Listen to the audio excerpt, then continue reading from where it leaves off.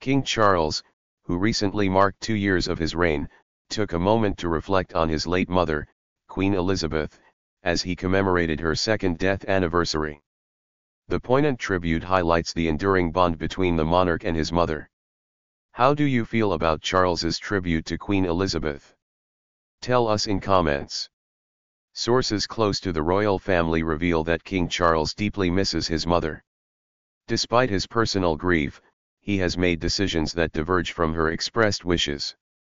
Queen Elizabeth had laid out certain preferences regarding her son's reign and his wife, Camilla. Before her passing, she had hoped that Camilla would be known as Queen Consort, a title reflecting her supportive role rather than Queen. However, the late Queen's wish was not entirely honored. During the coronation held in March 2023, Camilla was formally titled as Queen, deviating from the title Queen Consort that Elizabeth had envisioned. This decision has sparked discussions about the adherence to the late Queen's wishes and the evolving nature of royal titles. Charles, who faced a particularly challenging period in his early reign, is reportedly beginning to see a way forward.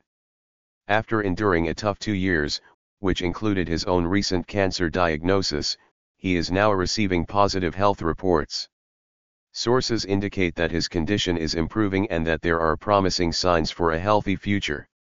On the anniversary of Queen Elizabeth's death, Charles paid tribute to his mother by attending a Sunday morning service at Crathie Kirk, the royal family's place of worship near Balmoral Castle.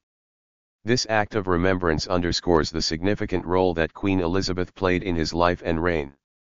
What are your thoughts on Charles's decision to deviate from his mother's wishes? Do you think the change in Camilla's title reflects a shift in royal traditions? Tell us in comments. As King Charles continues to navigate his reign, the legacy of his mother remains a significant influence. The adjustments in royal titles and the personal challenges faced by the monarch highlight the complexities of modern royal life. In summary, King Charles's tribute to Queen Elizabeth on her second death anniversary serves as a reminder of the deep personal connections and the evolving nature of the monarchy. As the king moves forward, balancing personal grief with public responsibilities, the royal family's journey continues to capture public interest. Stay tuned for more updates on the royal family and other news. Don't forget to like, share, and subscribe for the latest developments.